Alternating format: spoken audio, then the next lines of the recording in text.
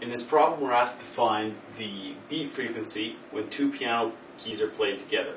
One piano key has a period of 0.025 seconds. One piano key produces a frequency with a period of 0.034 seconds.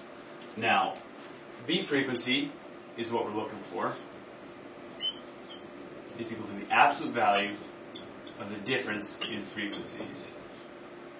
Uh, it should be not a bracket, but absolute value. Okay. Now, frequency is related to period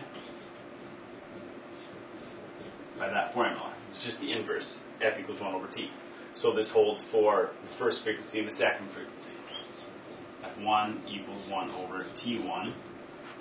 f2 equals 1 over t2. So all we have to do is just plug these in for f2 and f1. We just want the difference in frequencies. So beat frequency is equal to absolute value of f2, which is 1 over t2, minus f1, which is 1 over t1. Now if I plug these numbers in, t2 is 0.034 seconds,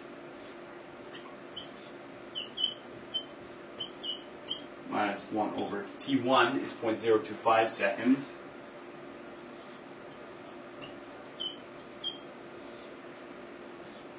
Now, if I actually just plug in these numbers to get the frequency they are, I see that this one is 29.4 hertz. Now this, I change this to hertz because a hertz is just uh, 1 over second. That's what it is.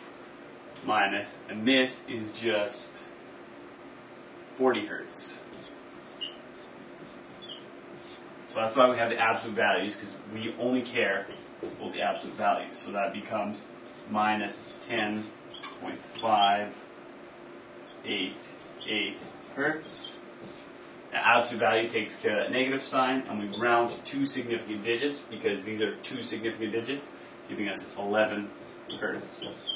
So the beat frequency is 11 hertz. Final answer.